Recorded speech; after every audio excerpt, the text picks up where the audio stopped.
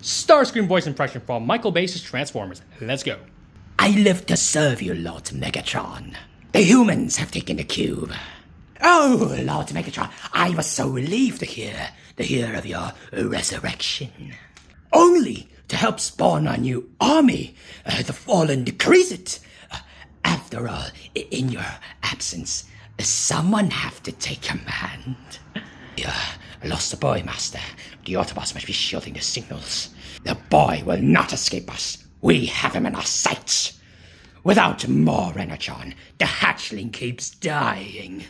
Oh, my poor, poor Master Megatron, how it pains me to see you so, so wounded, oh, so weak.